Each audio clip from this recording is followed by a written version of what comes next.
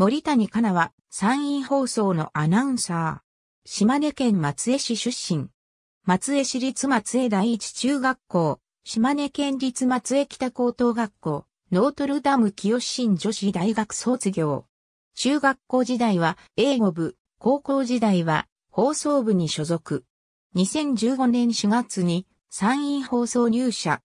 2015年5月18日から6月末までの MBS 毎日放送でアナウンス研修を受け、2015年7月3日午前9時55分の BSS ニュースで山陰放送アナウンサーとしての初泣きを果たした。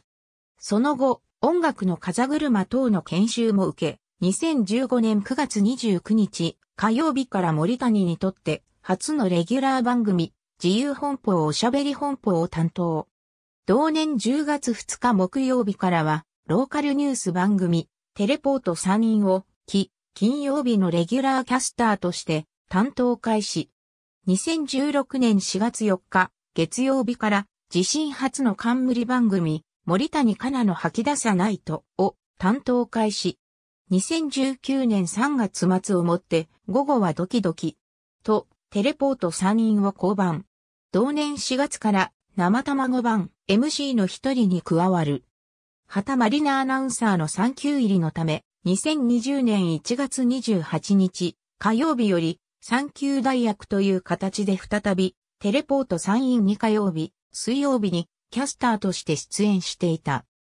しかし、新型コロナウイルス感染症による緊急事態宣言発令に伴い、2020年4月17日から2020年5月31日の期間、キャスター1名体制で進行する形に変わったことや、2020年6月1日から新キャスター2名が登板することを受け、産休代役としての登板は2020年4月22日を最後に終了。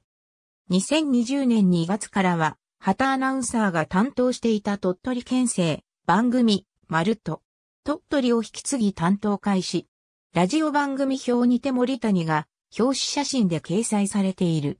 放送局社員アナウンサーの表紙起用は、2019年秋号の長岡あゆみに続いて2例目だが、女性及び単独での起用は初めて。趣味は、ジムで体を動かすこと。